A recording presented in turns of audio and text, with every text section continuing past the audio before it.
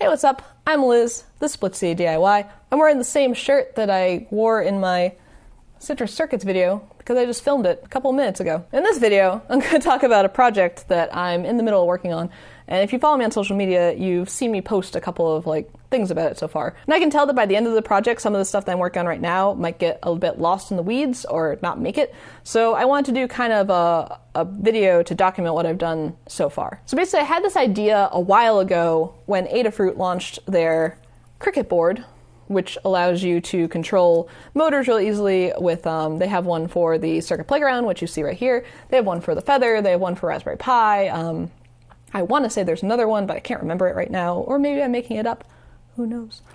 But i thought it'd be cool um, to make a robot like just a simple chassis robot like you see here that's controlled uh, with ir um, so infrared like a remote control originally I wanted to do it with two circuit playgrounds. I wanted to have circuit playground on the Crickit, and I also wanted to use the circuit playground to control everything uh, because uh, circuit playground has an IR receiver and an IR LED on board, so they can talk to each other like that. Um, but what I found when I was doing that originally, when I was testing, that the circuit playground, the IR to send, it wasn't quite powerful enough to reach um, the circuit playground on the Crickit board just because of the angles and everything. Uh, so what I ended up doing was changing the remote design a bit to use a Trinket M0. So I'm still coding in CircuitPython, and then I'm using um, a Seesaw board, which is kind of this little add-on processor that allows you to do a bunch of stuff uh, like analog control and everything, all through SCL and SDA communication. So that's how it's connected up to the trinket right here on the breadboard. Uh, and then I wanted to use an analog stick to control everything, just because I thought it would kind of feel cool. Um, and I'm able to easily do the analog control with the seesaw and the trinket and CircuitPython. So that part is uh, really simple to code, just makes everything a lot easier. Uh, and then for the IR LEDs, I have this little kind of array here. Um, I used a jig that's available on Thingiverse. I'll link down below by Mohit Bhoite. Uh, you may have, you probably know who he is, even if you don't think you do. Uh, if you follow any electronics kind of blogs like Hackaday or even Adafruit at this point, like you've probably seen his freeform circuits that are absolutely gorgeous, uh, just kind of floating around the internet. Uh, I don't really understand how he's able to do it so nice and neat and beautifully, but he's shared a bit of his magic with the LED uh, matrix jigs on Thingiverse. That's what I did use to solder this up. My freeform soldering is not as pretty as his, but it gets the job done. And I only soldered up seven of them, so it's kind of like a little, little LED flower. And I found with this amount of LEDs connected up, uh, I'm able to control the crickit um, and the circuit playground at a decent distance uh, without worrying about interference or the signal just not reaching the circuit playground. So basically, how the code is working is first I decoded uh, what the analog coordinates are with the joystick when I'm pointing forward or to the right, to the left, backwards, etc. And once I did that by using Mu to look in the serial monitor to see what the coordinates were, and then to send the IR signals, basically I'm putting up if the x axis and y axis are in a certain range. And I'm doing a range because it's analog, so there's going to be a range. You're never going to hit exactly like coordinate 609x702y. Like, that would be insanity. Uh, so I basically put a range for the two axes, and then that will translate to an IR signal going out. And then the code running on this board right here, when it receives that IR signal, it will go forward, or it will go backwards, or it'll stop. And that's actually what I have coded in right now. I have forwards, backwards, stop.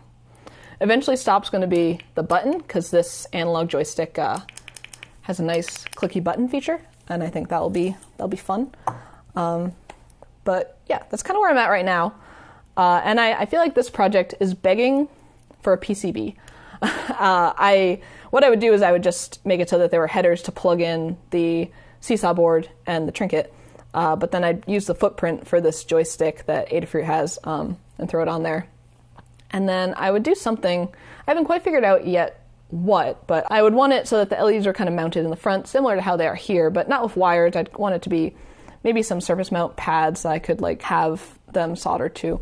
I haven't quite figured that part out yet, but once I do, uh, I'll probably do a quick video on the circuit board design, uh, and then once circuit board comes in, um, we'll have a fully functional robot. I also might add some NeoPixels to this. I think it'd be fun to put a NeoPixel like bar on the back and have it so that when it stops, it's like red. When it's going, it's like maybe rainbow swirl or something like that. Maybe have some like directionals on here when it's moving.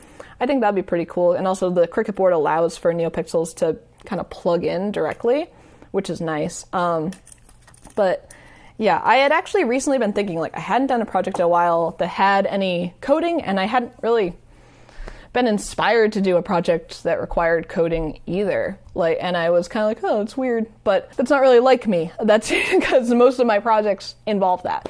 Uh, but I had had this idea for a while and decided to try it out, and then I got like super sucked in. It's been really fun to work on, and I think because it's kind of it's like super just for fun, right? Like, what is the point of this robot?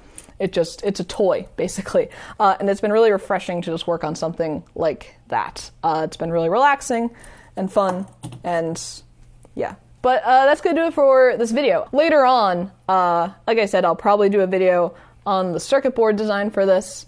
Uh, I haven't, I still haven't decided on like the shape or anything, but I do kind of like with the breadboard being able to hold it like this. So maybe a design like this and I could do like a 3D printed kind of handle, maybe.